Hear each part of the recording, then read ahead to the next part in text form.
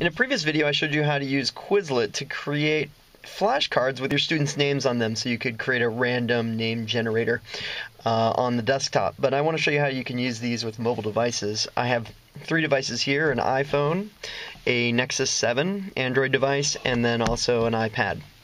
Uh, we'll start with the iPhone.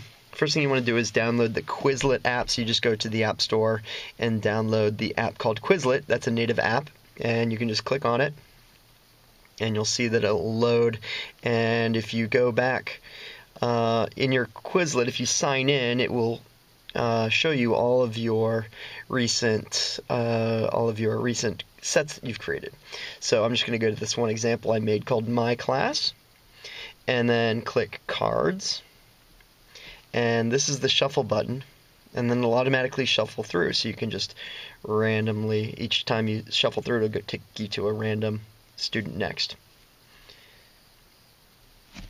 So I believe the uh, iPad app works the same way. I haven't yet logged in, so I'm going to do that.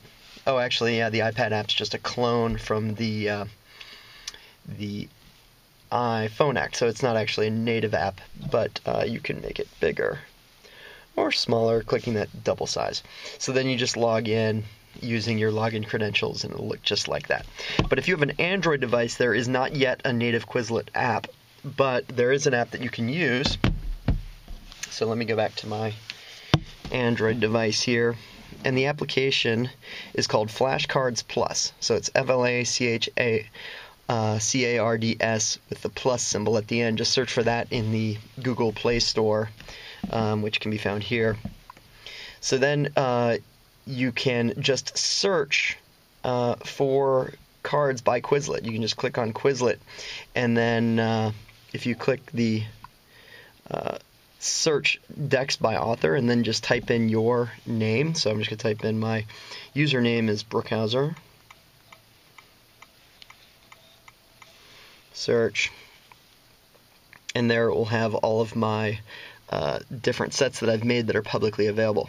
So then I'm going to click on My Class, and there it is. You can see uh, the uh, the list of cards.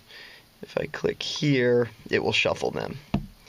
And so in random order, it will select them. Now this is optimized for a phone, not necessarily a tablet, so the text is a little smaller, but it gets the job done. So there you go.